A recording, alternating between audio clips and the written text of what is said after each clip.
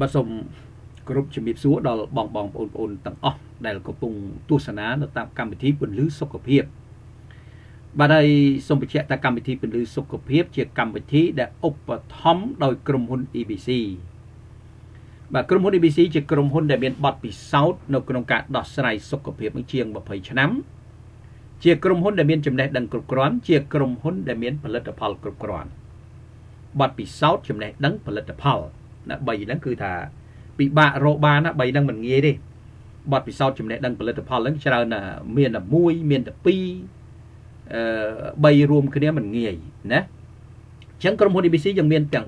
3ដូច្នេះបើសិនបងបងប្អូនប្អូនត្រូវការដោះស្រាយសុខភាពយ៉ាងណាសូមអញ្ជើញតាក់ទងមកផ្ទះលេខ266ផ្លូវលេខ150ខាងក្រោយមន្ទីរពេទ្យព្រះកុសមៈចម្ងាយ250ម៉ែត្រ ឬហៅថាពេទ្យលោកសង្ឃទូរស័ព្ទមាន3ប្រព័ន្ធគឺ012 98 11 25 015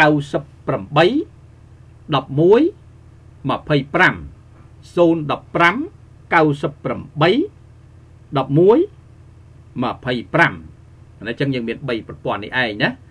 បាទតាក់ទងមកបើសិនបងបងប្អូនចង់បាន088ក៏ចឹងដែរលេខ8 98 11 25ហ្នឹងមាននៅក្នុងហ្នឹងហើយបាទហើយ ជាទូទៅក្រុមហ៊ុន ABC យើងយើងតែងតែផ្ដល់ចំណេះដឹងហើយចំណេះដឹងនោះគឺធ្វើឡើងតាមរយៈការបង្ហោះនៅក្នុងប្រព័ន្ធ YouTube ដូច្នេះបងបងប្អូនប្អូនចង់ចេះចង់ដឹងចង់ស្រាវជ្រាវចង់យល់ពីរឿងសុខភាពសូមអញ្ជើញចូលមើល YouTube YouTube វាយពាក្យថា EBC ពន្លឺសុខភាព EBC ដក clear បន្តិចទៅហើយពន្លឺសុខភាពណាអឺ EBC សអង់គ្លេសហើយដក clear ទៅសខ្មែរណាពន្លឺសុខភាពបាទបងបងប្អូនអាចអញ្ជើញចូលមើលបាន ដែលមានជាភាកជាភាកបាទហើយតាក់ទងនឹង Facebook យើងមាន2 Facebook មួយគឺប៉ាងលេហឺអសរឡាតាំងហើយមួយទៀតគឺប៉ាងយឿនចំណែក page ហ្នឹងមាន3 page ហ្នឹងមាន EBC ពលិសុខភាពហ្នឹងដូច YouTube ដែរឈ្មោះណាមួយហើយទី2នោះគឺប៉ាងលេហឺហើយមួយទៀតប៉ាងលេហឺ EBC ណា អសរឡាតាំងអញ្ចឹងអាចមើលទៅហើយលេខទូរស័ព្ទនៅក្នុងនោះមានហើយបងបងប្អូនត្រូវការយ៉ាងណាសូមទំនាក់ទំនងតាមប្រព័ន្ធណាមួយក៏បានណាហើយបើលឿនដំងទូរស័ព្ទមកដំងទៅអានឹងស្រួលជាង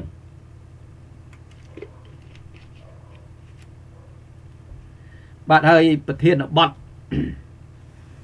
ប្រធានបទដែលលើកយកមកជម្រាបជូនបងបងប្អូនប្អូនអឺបន្តនោះគឺអាចកំបាំង spirulina ចូលដល់ភាគទី30ណាចូលដល់ភាគទី30ដូច្នេះបងបងប្អូនប្អូនចង់ដឹងថាតើ spirulina នោះវាមានអាចកំបាំងយ៉ាងណា ដែលយើងមិនធ្លាប់ដឹងយ៉ាងណា វាផ្ដល់អត្ថប្រយោជន៍យ៉ាងណា សម្រាប់សុខភាពតលតែបងបងប្អូនអញ្ជើញទស្សនាភាកជាភាកទៅស្វែងយល់លំអិតពីរឿងរ៉ាវសុខភាពណាបាទហើយអឺនេះគឺជា spirulina ដែលបាត់ដុះតាមបែបធម្មជាតិណាដែលដុះនៅតំបន់អឺអ្នកស្រុកអ្នកភូមិកុលសម្ព័ន្ធនៅតំបន់នោះ មាននៅអាហ្វ្រិកមាននៅអេតូពីមាននៅមិចស៊ីកូបាទប្រទេសច្រើនទៀតបាទប្រទេសច្រើនទៀតបាទប៉ុន្តែតំបន់ទាំងហ្នឹងគឺសម្បូរដែលដុះនៅតំបន់ហ្នឹងដែលសេសលណាប៉ុន្តែឥឡូវនេះគេយកមកដាំហើយ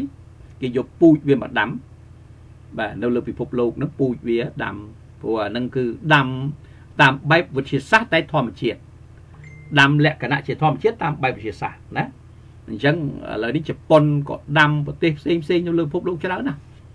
បាទហើយកម្រិតនៃសារជាតិបំពន់ហ្នឹងអត់ដូចគ្នាទេខុសគ្នាទៀតអាស្រ័យទៅលើជំនាញនិងការពិសោធន៍ដាំដុះរយៈពេលយូរឆ្នាំបាទក្រុមហ៊ុន ABC យើងមានការចែកចាយផលិតផលមកពីប្រទេសជប៉ុនដែលតាមរយៈការសិក្សាស្រាវជ្រាវពិសោធន៍រាប់ឆ្នាំមក រោងចក្រនៅខាងជប៉ុននឹងបានសម្រេចនូវគុណភាពដ៏អស្ចារ្យហើយមិនមែនគ្រាន់តែប៉ុណ្្នឹងទេរោងចក្របានផ្សំជាមួយនឹងរុក្ខជាតិមួយទៀតគេហៅថាម៉ាកាហើយម៉ាកានេះក៏ជួយខ្លាំងដែរបាទជួយខ្លាំងណាស់ទៅលើរាងកាយរបស់មនុស្សជាពិសេសកែសម្រួលអរម៉ូនបាទកែសម្រួលអរម៉ូនហើយមនុស្សយើងបើនិយាយដោយខ្លីថាអរម៉ូនហ្នឹងហើយដែលជាគ្រឹះសំខាន់នៃរាងកាយទាំងមូលហ្នឹង ទាំងមានសាច់ឈាមល្អទាំងមានកម្លាំងកំហែងនៅទាំងមានសកម្មភាពឃ្លាវខ្លាមើលទៅដូចជា សុខភាពល្អអីហ្នឹងទាំងផ្លូវចិត្តផ្លូវកាយហ្នឹងអាហ្នឹងគឺអាស្រ័យលើអរម៉ូននឹងឯងតាបើអាកាលណាអរម៉ូនថមថយហើយអ្វីអ្វីអស់ហើយណាបាទអញ្ចឹងហើយវាជួយកែសម្រួលទាំងអស់ផ្ដល់អត្ថប្រយោជន៍ទៅដល់មនុស្សប្រុសមនុស្សប្រុសនោះខ្សោយកម្លាំងខ្សោយផ្លូវភេទណាអស់កម្លាំងញ័រសាច់អីហ្នឹងអ្នកមានស្ពាមតិចមេជីវិតខ្សោយអ្នកអត់គូនអីហ្នឹងសិតត្រូវហើយចំណែកផ្នែកនួនស្រីហ្នឹងក៏អត់ខុសគ្នាដែរអ្នកខ្សោយអ្នកហេវហត់អ្នកញ័ររដូវនឹងមិនទៀងរាំងរដូវឈឺចាប់ពេលមករដូវហ្នឹងក៏ជួយដែរអាម៉ាកាហ្នឹងជួយខ្លាំងណាស់បាទ spirulina maca ជួយខ្លាំង ហើយស្ត្រីដែលរៀងវ័យចំណាស់ទៅគាត់តាក់ទងនឹងអារម្មណ៍ផ្នែកផ្លូវភេទក៏វាបាត់បង់ស្ងួតទ្វារមាសណាអាហ្នឹងក៏ម៉ាកានឹងជួយដែរណាម៉ាកាជួយដែរស្ត្រីវ័យអស់រដូវវ័យចាស់ណាវ័យអស់ដែលគាត់មានបញ្ហាសុខភាពរបស់គាត់មួយចំនួន ជាទូទៅក្តៅមកកណាត់ខ្លួនឡើងលើញ័រទ្រុងញ័របេះដូងសម្រានមិនលក់គិតច្រើន stress តប់ប្រមល់ បែកញើសស្អិតនៅពេលយប់ណែអាជំងឺអស់ហ្នឹងជាជំងឺរបស់ស្ត្រីពេលដែលគាត់ចូលដល់វ័យអរដូវទៅគឺចាប់ផ្ដើមមានរឿងនឹងកើតឡើងនឹងម៉ាកាហ្នឹងក៏ជួយដែរណាដូច្នេះ spirulina maca នេះវាលេខ1ត្មងបើនិយាយដោយខ្លីជាផលិតផលលេខ1របស់ប្រទេសជប៉ុនហ្នឹងអញ្ចឹងហើយបងបងប្អូនប្អូនដែលចង់បានផលិតផលល្អទាំងពីរហ្នឹងគឺថា spirulina maca នៅសូមបញ្ជាក់ជូនអញ្ចឹងណាបើចង់បានហ្នឹងគឺថា spirulina maca ហ្នឹងគឺអត់ខុសទេណាបាទអញ្ចឹងខ្ញុំបាទសូមធ្វើការជម្រាបជូនប៉ុណ្ណឹងតកតងនឹង spirulina maca ហើយចូលទៅដល់ភាគបន្តបន្ទាប់ទៀតអឺខ្ញុំបាទសូមទៅភាគទី30តែម្ដងណាកុំឲ្យខាត់ពេលណាព្រោះយើងច្រើននេះចូលដល់នេះបាទបាទជាស្រ័យ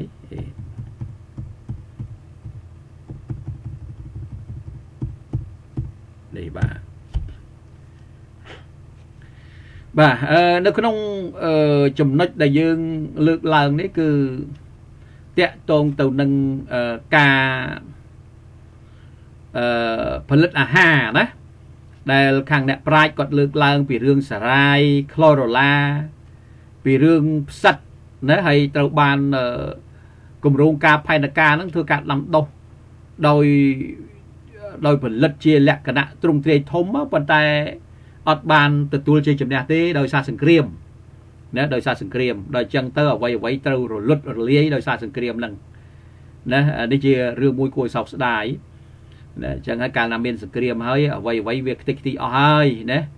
មិនថាយើងថាគេទេតាណាក៏ដោយនៅលើពិភពលោកណាយើងតួយ៉ាងដូចមើលតែអ៊ុយក្រែនសពថ្ងៃទៅ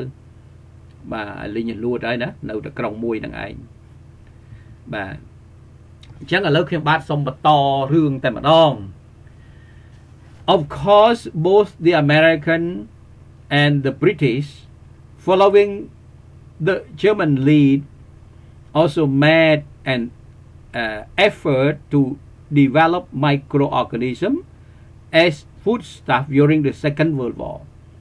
But they also had more of an interest in the production of fats and oil from microorganisms, which dispersed the research. បាទថាជាការពិតណាស់ទាំងជនជាតិអាមេរិកនិងទាំងជនជាតិអង់គ្លេសបន្ទាប់ពីមានការនាំមុខដោយអាល្លឺម៉ង់បាទបាទអាល្លឺម៉ង់ហ្នឹងគេគេគេបាននាំមុខក្នុងការនេះស្រាវជ្រាវទៅលើប្រភេទអាហារអីហ្នឹងណា បាទអញ្ចឹងជនជាតិអាមេរិកហើយនិងអង់គ្លេសហ្នឹងបន្ទាប់ពីមានការនាំមុខដោយអាល្លឺម៉ង់បានធ្វើការខិតខំប្រឹងប្រែងផងដែរដើម្បីអភិវឌ្ឍបាទអឺពពួករុក្ខជាតិតូចតូចហ្នឹងឲ្យទៅជាប្រភេទអាហារណាក្នុងកំឡុងពេលសង្គ្រាមលោកលើកទី2បាទបាទពួកហ្នឹងគេប្រឹងប្រែងបាទគេប្រឹងប្រែងណា លេខលោកយ៉ាងណាកែច្នៃអាពួករុក្ខជាតិតូចតូចហ្នឹងឲ្យទៅជាអាហារ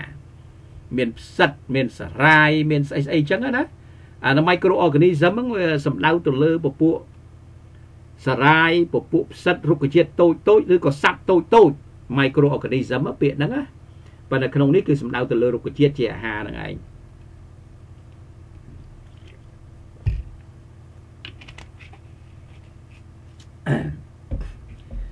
បាទអញ្ចឹងក្នុងសង្គ្រាមលោកលើកទី2ហ្នឹងដែលគេចង់កែច្នៃប្រភេទរុក្ខជាតិហ្នឹងទៅជាអាហារណាប៉ុន្តែពួកគេក៏មានការចាប់អារម្មណ៍ច្រើន នៅក្នុងការផលិតនៅខ្លាញ់ហើយនឹងប្រេងចេញពីពពួករុក្ខជាតិតូចតូចនោះទៅវិញ ហើយក៏ធ្វើឲ្យការស្រាវជ្រាវនោះកាន់កាន់តែសាយភាយបាទការស្រាវជ្រាវនោះកាន់តែទលំទលាយកាន់តែសាយភាយណា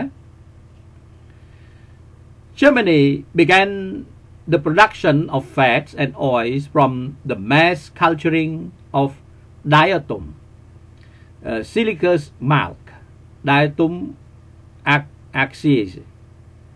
And they had some result in oil production from bacilli such as the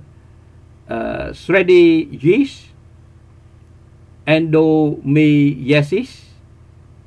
barunal alis, and phasalum ឈ្មោះគេទេណាហ្នឹងឈ្មោះនេះប្រទេសអាល្លឺម៉ង់ក៏បានចាប់ដើមធ្វើការផលិតខ្លាញ់ហើយនឹងប្រេងចេញពីពពួករុក្ខជាតិណាអឺពីពីពីចេញពីពពួកអឺចេញពីការដាំរុក្ខជាតិដល់ចំនួនច្រើនដែលអាតុមប្រភេទដូចរុក្ខជាតិអញ្ចឹងឈ្មោះនេះឈ្មោះក្រោមគេណាបាទឈ្មោះអានោះពួកផ្សិតហ្នឹងបាទ ចម្រាញ់ប្រេងពីពួកហ្នឹងស៊ីស៊ីលីអឺស៊ីខសសៀសម៉ាល់ឈ្មោះគេហ្នឹងបាក់អានព្រោះអានឹងជាវិទ្យាសាស្ត្រមិនមែនជាភាសាអង់គ្លេសទេណាហើយពួកគេបានទទួលលទ្ធផលខ្លះពីការផលិតប្រេងចេញពីពពួក Bacilli Bacilli នឹងដូចពពួក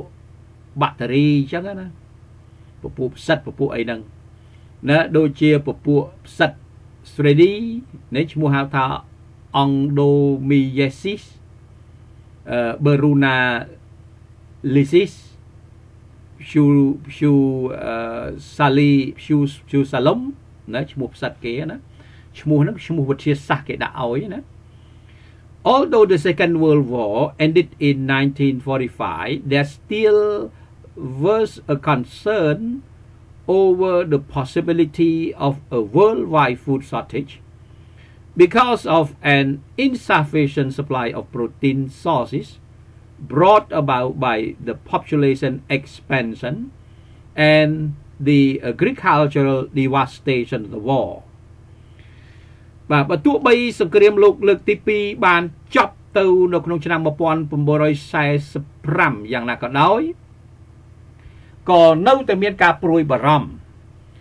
អំពីលទ្ធភាពនៃការខ្វះខាតអាហារនៅលើពិភពលោក ដោយសារតែមិនមានការផ្គត់ផ្គង់គ្រប់គ្រាន់ចំពោះប្រូតេអ៊ីនប្រភពប្រូតេអ៊ីនដែលបានបង្កឡើងដោយការកើនឡើងនៃប្រជាជនណាច្រើនហើយនឹងណែ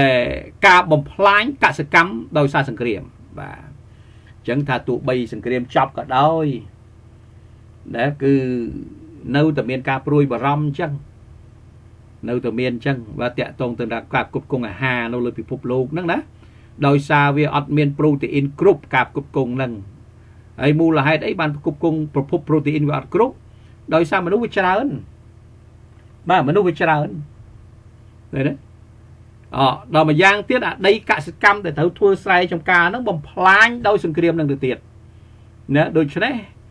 អឺវាមានការព្រួយបារម្ភណាចំពោះរឿងហ្នឹងវាមានការព្រួយបារម្ភណាដូច្នេះការគ្រប់គ្រងអាហារហ្នឹងអត់គ្រប់ទេមនុស្សកាន់ជាច្រើនអាដីហ្នឹងបំផ្លាញដោយសង្គ្រាមជំនាន់ហ្នឹងណាបាទហើយក្របកភ្លើងហ្នឹងបំផ្លាញស្អាតតែក្របធំធំមិនខ្ទេចខ្ទីអស់ដីអឺសិទ្ធិគីមីអីហ្នឹង ណាដល់អញ្ចឹងទៅវាជាបញ្ហាចោតដែរបាទ Thus the Carnegie Foundation in the US conducted research led by Professor Spohr into the making of food from chlorella. Professor Spohr felt that countries like Japan should be encouraged to look into the mass production of chlorella in order to really make a breakthrough in the world food crisis បាទហើយដូច្នេះហើយមូលនិធិ Carnegie នៅក្នុងសហរដ្ឋអាមេរិកបានបង្កើតឲ្យមានណា foundation និងមូលអង្គការមូលនិធិបាទអង្គការមូលនិធិ Carnegie នៅសហរដ្ឋអាមេរិក បានបង្កើតការស្រាវជ្រាវ ដែលដឹកនាំដោយសាស្ត្រាចារ្យស្ពរដើម្បីធ្វើការផលិតអាហារចេញពីសារ៉ាយ chlorella ឃើញទេបានន័យថាបាទអង្គការមូលនិធិ Carnegie ហ្នឹងក៏គេបង្កើតការស្រាវជ្រាវមួយរលទ្ធភាពផលិតអាហារដែលធ្វើចេញពីសារ៉ាយ ណាសារ៉ាយ chlorella ហ្នឹងណាបងបងប្អូនអាសារ៉ាយហ្នឹងវាមុន spirulina ហ្នឹងទៅទៀតអានេះនិយាយពីរឿងរ៉ាវរបស់អាហារទេអត់តនិយាយទៅដល់រឿងរ៉ាវសំខាន់ទៅលើ spirulina ទេណាបាទដើម្បីឲ្យតាក់ទងគ្នាអញ្ចឹងអ្នកប្រាជ្ញគាត់លើកឡើងប្រវត្តិហូហែមករហូតមកបាទអញ្ចឹង chlorella នេះនិយាយទៅមានការស្រាវជ្រាវមុន spirulina ប៉ុន្តែអត់ទូលំទូលាយដូច spirulina ទេ spirulina ហ្នឹងវាស្រាវជ្រាវខ្លាំងជាងនៅសម័យបច្ចុប្បន្នហើយមនុស្សប្រើច្រើននៅលើពិភពលោកណាបាទលោកសាស្ត្រាចារ្យស្ពរមានអារម្មណ៍ថាប្រទេសដូចជាជប៉ុន គួរតែត្រូវបានលើកទឹកចិត្តឲ្យពិនិត្យមើលនៅការផលិតសារ៉ាយ chlorella ជាទ្រង់ទ្រាយធំ ដើម្បីបង្កើតការបំបែកកំណត់ត្រាណានៅក្នុង វិបត្តិអាហារពិភពលោកបាទអញ្ចឹងលោកសាស្ត្រាចារ្យស្ពរនោះគាត់ថាជប៉ុនគួរតែពិនិត្យមើលឡើយណាគាត់ឲ្យយោបល់អញ្ចឹងណាគាត់ថាជប៉ុននឹងគួរតែពិនិត្យមើលបាទក្នុងការផលិត chlorella ហ្នឹងឲ្យបានធំដុំមកបាទផលិតមិនតូចតាចទេធំច្រើនណាដើម្បីឆ្លើយតបណាដើម្បីបំបែកកំណត់ត្រាណា breakthrough ហ្នឹងណាបំបែកកំណត់ត្រាអឺ នៅក្នុងវិបត្តិអាហារពិភពលោកនោះបាទអញ្ចឹងព្រោះជប៉ុនហ្នឹងគេមិនដឹងថាតើមិនបានគេលើកអឺណែឲ្យយោបល់ប្រទេសជប៉ុនអញ្ចឹងអ្នកប្រាជ្ញណាទីតាំងវាស័កសមវាល្អយ៉ាងណាមិនដឹងយ៉ាងម៉េចទេអាហ្នឹងរឿងរបស់គេតែគ្រាន់តែនៃអញ្ចឹង In 1951 experimental research on the mass production the mass culturing of chlorella started in Japan at the Tokugawa Research Institute dissolved in 1970 នៅក្នុងឆ្នាំ1951ការស្រាវជ្រាវជាការពិសោធន៍ទៅលើការផលិតឲ្យទ្រង់ទ្រាយធំនៅសារាយ chlorella បានចាប់ផ្ដើមនៅក្នុងប្រទេសជប៉ុន នៅឯមជ្ឈមណ្ឌលស្រាវជ្រាវតូកូកាវ៉ាប៉ុន្តែបានបាត់បង់ទៅវិញឆ្នាំ1970បានរលាយទៅវិញនៅឆ្នាំ1970បាទដល់មិនបានចឹងបាទទៅរលាយវិញចឹងទៅ In 1957, the Japanese government, at American urging, developed a plan to independently mass produce chlorella and set aside funds for scientists and technical research នៅឆ្នាំ1957រដ្ឋាភិបាលរបស់ជប៉ុន ដោយតាមរយៈការជំរុញពីអាមេរិកបានបង្កើតនៅផែនការដើម្បីផលិតយ៉ាងធំធេងដោយឯករាជ្យណាផលិតនៅអត់មានចូលរួមអីគេផលិតដោយដោយឯករាជ្យ ណានៅសារាយ chlorella ហើយបានរៀបចំថវិកាសម្រាប់ការស្រាវជ្រាវបច្ចេកទេសហើយនិងវិទ្យាសាស្ត្របាទអាមេរិកអ្នកឲ្យជប៉ុនផលិតណាបាទអាមេរិកមិនផលិតខ្លួនឯងទេបើមិនដឹងថាទីតាំងជប៉ុននោះយ៉ាងម៉េចយ៉ាងម៉ាទេបានអញ្ចឹងណាពួកជប៉ុនប្រហែលជាវាជាទីតាំងបង្កលក្ខណៈល្អអញ្ចឹងទៅតាមមើលបាទអញ្ចឹងហើយបានអាមេរិកនេះឃើញទេ ថាឆ្នាំ57ហ្នឹងរដ្ឋាភិបាលជប៉ុន តាមរយៈការជំរុញពីអាមេរិកណាបានបង្កើតនៅផែនការដើម្បីធ្វើការផលិតសារ៉ាយក្លូរ៉ូឡាជាឯករាជ្យទ្រង់ទ្រាយធំ ហើយបានរៀបចំមូលធិបាទរៀបចំលុយកាក់សម្រាប់ការស្រាវជ្រាវបច្ចេកទេសហើយនឹងបច្ចេកទេសហើយនឹងវិទ្យាសាស្ត្រ The Japan Chlorella Research Institute was established in the same year at Kunitachi uh, Kunitachi Kunitachi បាទវិទ្យាស្ថានស្រាវជ្រាវអឺសារ៉ាយក្លូរ៉ូឡារបស់ជប៉ុន បានបង្កើតឡើង នៅក្នុងឆ្នាំដដែលនោះនៅឯ Kunitachi Kunitachi ណា This research institute is part of the Japan Dietary Association. Uh, Nihon Shuko Shaikasu Kyokai Kiichi Minami managing director. But the director of the center was made directly responsible to the managing director himself. And I one of the board was appointed assistant director in 1957 បាទចឹងយើងស្ដាប់មើលមើលអានេះគឺរឿងរ៉ាវដែលខ្លះខ្លះនៅខាងជប៉ុនហ្នឹងដែលគេមានការស្រាវជ្រាវណាថាការស្រាវជ្រាវវិទ្យាស្ថានស្រាវជ្រាវនេះគឺជាផ្នែកមួយនៃអធិស្ឋានខ្ញុំខ្ញុំសូមធ្វើការបកឡើងលើតិចឲ្យជាប់គ្នាណាដើម្បីឲ្យបានយល់ព្រោះមិញមកកណាត់មកកណាត់ណា ថាឆ្នាំ1951ការស្រាវជ្រាវជាការពិសោធន៍ទៅលើការផលិតជាទ្រង់ទ្រាយធំនៅសារ៉ាយក្លូរ៉ូឡាបានចាប់ផ្ដើមនៅក្នុងប្រទេសជប៉ុននៅឯនៅឯវិទ្យាស្ថានស្រាវជ្រាវអឺរបស់ជប៉ុននៅតូគូហ្គាបាហើយក៏បានបាត់ទៅវិញនៅឆ្នាំ1970នៅឆ្នាំ1957រដ្ឋាភិបាលជប៉ុនតាមរយៈការជំរុញពីរដ្ឋាភិបាលអាមេរិក បង្កើតនៅផែនការមួយដើម្បីផលិតសារ៉ាយក្លូរ៉ូឡាឯករាជ្យជាទ្រង់ទ្រាយធំហើយបានរៀបចំទុនណាថវិកានឹងសម្រាប់ការស្រាវជ្រាវបច្ចេកទេសហើយនិងវិទ្យាសាស្ត្របាទវិទ្យាស្ថានស្រាវជ្រាវសារ៉ាយក្លូរ៉ូឡារបស់ជប៉ុនបានបង្កើតឡើងនៅក្នុងឆ្នាំដដែលនៅឯកូនីតាជីវិទ្យាស្ថានស្រាវជ្រាវនេះ ជាផ្នែកមួយនៃសមាគមអាហាររបស់ជប៉ុនបាទឈ្មោះថា Nihon Shuku Saikasu អឺ Kyokai Kiichi Minami ណែដែលដែលជានាយកចាត់ចែងប៉ុន្តែអឺនាយកធំនៃមជ្ឈមណ្ឌលនោះក៏ត្រូវបានធ្វើក៏ត្រូវបានធ្វើឡើងឲ្យទទួលខុសត្រូវ ចំពោះនាយកចាត់ចែងដោយខ្លួនគាត់ផ្ទាល់បាទហើយខ្ញុំណែជាផ្នែកមួយនៃគណៈកម្មការនោះក៏ត្រូវបានតែងតាំងជាជំនួយរបស់នាយកនៅឆ្នាំ57បាទខ្ញុំហ្នឹងគឺលោកលោកសាស្ត្រាចារ្យអ្នកនិយាយហ្នឹងអ្នកអត្ថាធិប្បាយហ្នឹងបាទអញ្ចឹងហើយសុទ្ធតែអ្នកស្រាវជ្រាវបងបងប្អូនៗគេទេបាទ The JCR Institute adopted the opening stirring method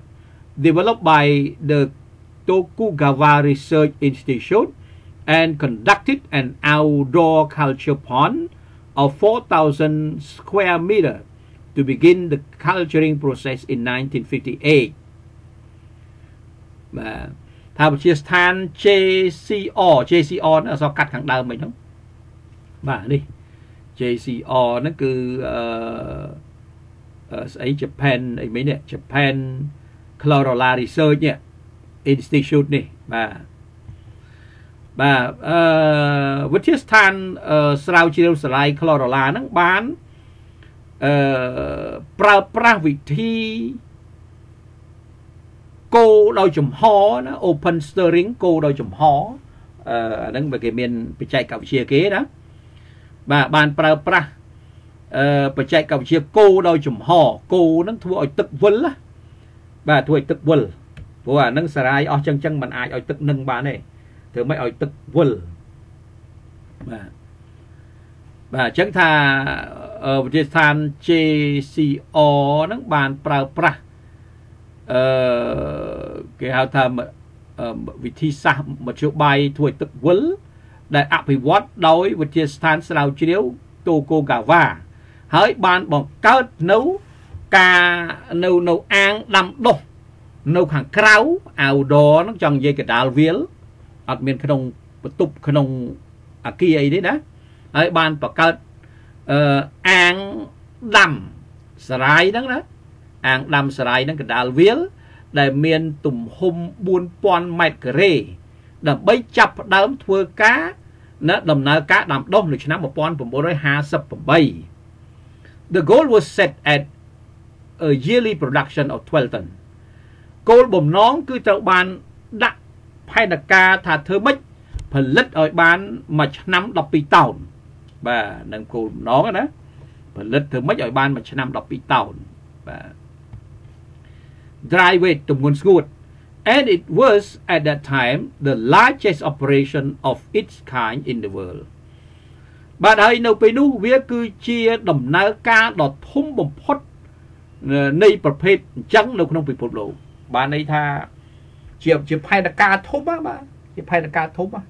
ធ្វើម៉េចមួយឆ្នាំឲ្យបាន12តោនទម្ងន់ស្មួតសារាយហ្នឹងបាទមិនធម្មតាដែរហ្នឹងលក់បន្តិចមួយតោនមួយតោនស្មានបន្តិចលុយច្រើនពួកសារាយហ្នឹង មួយតោនគេយកទៅធ្វើផលិតផលហ្នឹងមិនតិចទេច្រើនណាស់ subsequently with the general amelioration of the food situation it almost seemed that chlorella had been forgotten but suddenly the Russian launched the first successful manned satellite and chlorella again gained consi- consideration, considerable attention. At this time, as a possible food source for space travel. Um, subsequently, with the general amelioration of the food situation, it almost seemed that chlorella had been forgotten. គេថាក្រោយមក បាទក្រោយមកដោយមានភាពប្រសើរជាទូទៅនៃស្ថានភាពអាហារបាទក្រោយមកដោយមានភាពប្រសើរជាទូទៅជាស្រេចនៃស្ថានភាពអាហារបាទវាក៏ស្ទើរតែបង្ហាញឲ្យឃើញថាក្លរ៉ូឡាត្រូវបានគេបំភ្លេចចោល អូបាទបាទចង់និយាយថាដំបូងហ្នឹងគេខំប្រឹងផលិតហ្នឹងដោយសារអាហារវាមិនសូវល្អអាហារវាវាដូចថាវាខ្វះអញ្ចឹងណាមនុស្សអត់សូវមានអាហារទទួលទានខ្វះវីតាមីនប្រូតេអ៊ីនអីចឹងទៅអានឹងដំបូងដំបូងណាដល់ក្រោយមកអាហារវាប្រសើរស្រាប់តែគេចង់បំភ្លេចសារាយហ្នឹងទៅបាទគេបំភ្លេចចោលអាក្លរ៉ូឡាហ្នឹងទៅបាទអឺ មើលអញ្ចឹងបើថាអីអាក្លរ៉ូឡានេះអត់ចេញមែនបាទអត់ចេញមើលប្រហែលលើកប្រហែលសារទៅហើយ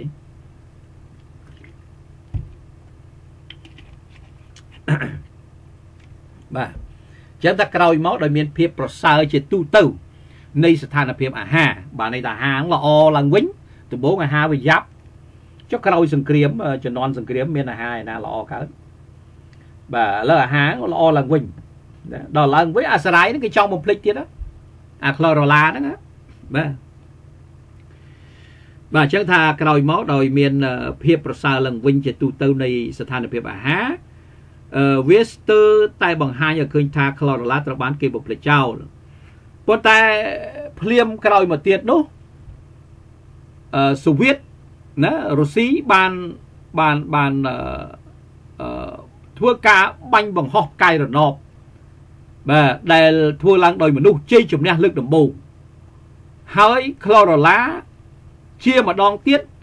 ក៏ទទួលបាននៅការយកចិត្តដាក់យ៉ាងច្រើនអូបាទអឺបានន័យថាដល់ពេលអារុស្ស៊ីហ្នឹងវាបាញ់អាផ្កាយរណបអឺទទួលបានជ័យជំនះមកអញ្ចឹងអាក្លរ៉ូឡានេះក៏គេដូចយកចិត្តដាក់ឡើងវិញបាទគេយកចិត្តដាក់ឡើងវិញហើយម្ដងនេះ អាចជាប្រភពអាហារសម្រាប់ដំណើរអវកាសអូបាទន័យថាគេយកគេចាប់អារម្មណ៍ទៅលើសារ៉ាយអា chlorella ឡើងវិញហ្នឹងគឺដើម្បីណាសម្រាប់ជាអាហារអវកាសបាននេះសម្រាប់ឲ្យពួកអវកាសទទួលទានព្រោះធម្មតាអវកាសវាមិនបាយសម្លអីណាដាក់ដូចនេះអីអត់ទេអាហារអវកាសហ្នឹងព្រោះទៅរាប់ខែដែរហ្នឹង អញ្ចឹងអត់មានទៅដុតភ្លើងដុតអីដាំបាយដាំអីទេបានទេអញ្ចឹងគេត្រូវរកប្រភពអាហារណាដែលសម្បូរទៅដោយវីតាមីនប្រូតេអ៊ីនរ៉ែច្រើនដើម្បីឲ្យមនុស្សហ្នឹងទទួលទាននៅបាទនៅនៅអវកាសហ្នឹងណាគឺអញ្ចឹងអានេះចង់បញ្ជាក់ជូនបងប្អូនបានជ្រាបអញ្ចឹងណាអញ្ចឹងគេចាប់អារម្មណ៍ទៅលើសារ៉ាយ chlorella ហ្នឹងម្ដងទៀតប៉ុន្តែចាប់អារម្មណ៍ទៅលើសារ៉ាយ chlorella ហ្នឹងបន្ទាប់ពី រុស្ស៊ីបានបាញ់បង្ហោះកាយរណបហ្នឹងទេណាដំបូងគេចង់បំភ្លេចចោលមួយថាទៀតហើយណាអញ្ចឹង chlorella នេះដូចជាដូចជាអត់ចេញរួចណាអត់ចេញរួច Both American America and the Soviet Union pursue intensive research into efficient method of culturing chlorella so that it could serve as a self uh, sufficient food supply in space vessel on long journeys ទាំងអាមេរិកនិងទាំងសហភាពសូវៀតបានបន្តស្រាវជ្រាវយ៉ាងល្អិតល្អន់ទៅលើមធ្យោបាយដ៏មានប្រសិទ្ធភាពនៃការដាំដុះសារ៉ាយ chlorella ដើម្បីឲ្យវាអាចប្រើការជាអាហារអឺដែលដែលដែលគ្រប់គ្រាន់ដោយខ្លួនឯង ដើម្បីផ្គត់ផ្គង់ណាតាមរយៈយានអវកាសក្នុងការធ្វើដំណើរវែងឆ្ងាយបាទបាទអញ្ចឹងគឺខាងអាមេរិកអីសូវៀតហ្នឹងគេគេចាប់ដើមបាទធ្វើការស្រាវជ្រាវយ៉ាងល្អិតល្អន់ទៀតហើយបាទទៅលើសារ៉ាយ chlorella ហ្នឹងដើម្បីយកវាមកធ្វើជាអាហារសម្រាប់ណាប្រើប្រាស់នៅក្នុងយានអវកាសនោះ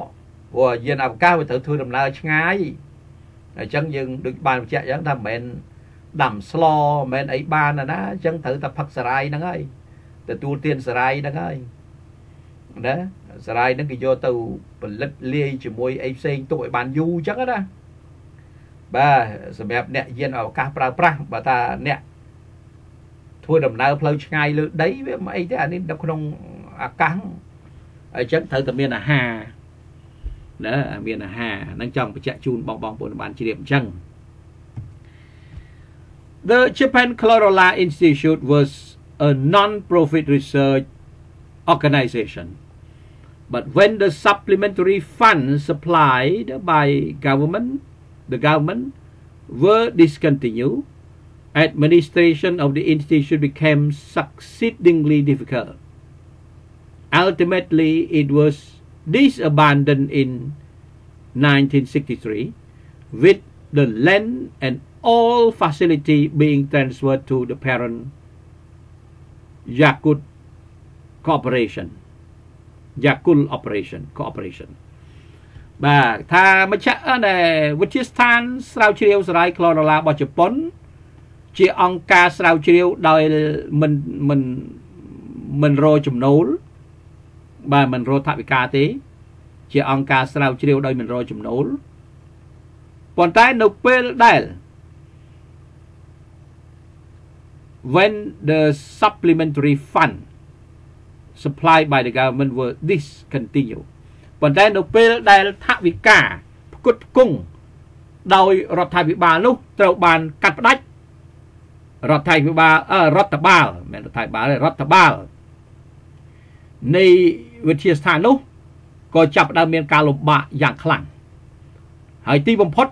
វាក៏ត្រូវបានបោះបង់ចោលនៅឆ្នាំ1963ដោយជាមួយនឹងដីហើយនឹងឧបករណ៍ទាំងអស់ត្រូវបានបកគលផ្ទេទៅឲ្យណាសាជីវកម្មយ៉ាគុដែលមានមុខការងារស្តៀងគ្នានឹងដែរបាទអញ្ចឹងអឺ ខាងវិទ្យាស្ថានស្រាវជ្រាវសារាយក្លរឡាំផ្ទេទៅឲ្យនេះអឺសាជីវកម្មអឺយ៉ាគុកទៅណាអឺដោយសារនោះវាជាអង្គការមួយមិនមែនរោចំណូលណាអញ្ចឹងដល់រដ្ឋាភិបាលអស់ចំណូលអស់ជំនួយទៅគាត់គង់លេងបានទៅក៏ដំណើរការលេងដើរអញ្ចឹងទៅផ្ទេទៅឲ្យសាជីវកម្មមួយទៀតឈ្មោះយ៉ាគុហ្នឹង However since the constituent element of chlorella were always uh, therapeutically effective interest in chlorella as a health food began at about this time ទោះបីយ៉ាងណាក៏ដោយដោយសារតែសារជាតិបំពន់របស់ chlorella ហ្នឹងគឺតែងតែមានប្រសិទ្ធភាពក្នុងការព្យាបាល ការចាប់អារម្មណ៍ទៅលើសារ៉ាយ chlorella ជាអាហារសុខភាព ក៏បានចាប់ផ្ដើមនៅប្រហែលជាពេលនោះ In 1964 chlorella industry and several other companies were established and all with the purpose of producing chlorella as a natural food Today, more than 100 companies are involved with chlorella as a food product in some fashion or others. នៅឆ្នាំ1964 chlorella ឧស្សាហកម្ម chlorella ហើយនឹងក្រុមហ៊ុនជាច្រើនទៀតត្រូវបានបង្កើតឡើងទាំងអស់សុទ្ធតែមានគោលបំណងនៃការផលិតសារ៉ាយ chlorella ជាអាហារធម្មជាតិសពថ្ងៃនេះមានក្រុមហ៊ុនជាង100ដែលមានការពាក់ព័ន្ធជាមួយនឹងសារ៉ាយក្លរ៉ាឡាជាផលិតផលតាមបែបផ្សេងផ្សេងរបៀបផ្សេងផ្សេងបាទអូបាទអញ្ចឹង ក្លរ៉ាឡានេះគេប្រងផលិតច្រើនដងច្រើនលើកច្រើនសារឲ្យអង្គការណាស្រាវជ្រាវឲ្យច្រើនប៉ុន្តែក្រោយមកវាទៅរួចប៉ុន្តែដោយសារតែសារជាតិបំពន់របស់សារ៉ាយក្លរ៉ាឡាហ្នឹងវាមានប្រសិទ្ធភាពក្នុងការព្យាបាលអញ្ចឹងហើយមានក្រុមហ៊ុនឯកជននៅក្រុមហ៊ុនឯកជនហើយនឹងបាទឧស្សាហកម្មឯកជនអីច្រើនហ្នឹងក៏បានចាប់ដើមបង្កើតឡើងផលិតសារ៉ាយក្លរ៉ាឡាផ្សេងផ្សេងគ្នាអញ្ចឹងទៅ បាទអញ្ចឹងនេះគឺជារឿងរ៉ាវខ្លះខ្លះដែលជម្រាបជូនបងបងប្អូនប្អូនទាំងអស់ដើម្បីស្វែងយល់ណារឿងក្លរ៉ាឡាហ្នឹងបាទនៅវែងឆ្ងាយទៀតប៉ុន្តែយ៉ាងណាក៏ដោយក៏យើងនឹងឈានទៅដល់និយាយពី spirulina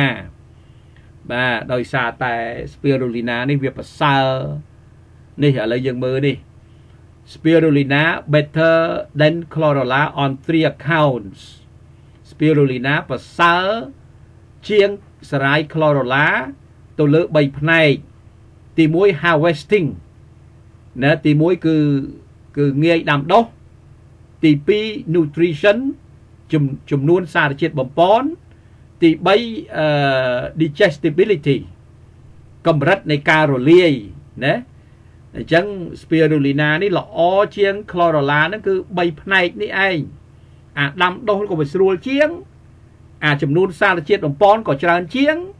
អារលាយនោះក៏ខ្លាំងជាងឃើញទេអញ្ចឹងអា3ផ្នែកនេះឯងដែលធ្វើឲ្យ spirulina ហ្នឹងវ៉ាដាច់ស្រាយ chlorella នៅលើពិភពលោកដូច្នេះ chlorella ហ្នឹងក៏បាត់មុខណារហូតមកដល់សប្ងៃមិនមិនសូវមានអ្នកដឹងទេតិចតួចណាស់បាទមិនសូវមានទេឥឡូវនេះអ្នកស្គាល់អ្នកដឹងហ្នឹងគឺ spirulina បាទអញ្ចឹងបងបងប្អូនអាចនឹងទស្សនាបន្តណា នៅភាកច្រើនទៀតដែលខ្ញុំបាទនឹងលើកឡើងជាភាកជាភាកប៉ុន្តែឥឡូវនេះគឺសូមចប់ត្រឹមហ្នឹងទៅណាផ្អាកត្រឹមហ្នឹងសម្រាប់ភាកទី30ហើយយើងមានភាក31 32 33អីទៀតណាច្រើនណាបាទអញ្ចឹងសូមអរគុណសូមជម្រាបលាឲ្យកុំភ្លេចបានទស្សនាហើយគឺថាជួយ share តតគ្នាផងឲ្យបងបងប្អូនប្អូនដទៃនេះគាត់បានចេះបានដឹងផងបាទសូមអរគុណ ហើយផលិតផលមានណាបងបងប្អូនប្អូនចង់បានផលិតផលល្អផលិតផលបាទដែលជួយសុខភាពល្អពិតប្រកបនោះគឺថា spirulina maca មកពីប្រទេសជប៉ុនហ្នឹងបាទអញ្ចឹងជើញណាជើញតាក់ទងមកបើសិនតែត្រូវការផលិតផលល្អល្អហើយតាក់ទងនឹងសុខភាពផ្សេងផ្សេងដែលបងបងប្អូនប្អូនកើតមានដោះស្រាយមិនទាន់ចេញនៅតាណាមួយនោះក៏តាក់ទងមកក្រុមហ៊ុន EBC មកក្រុមហ៊ុន EBC មានបទពិសោធន៍ក្នុងការដោះស្រាយ មានផលិតផលគ្រប់គ្រាន់មានចំណេះដឹងគ្រប់គ្រាន់បាទ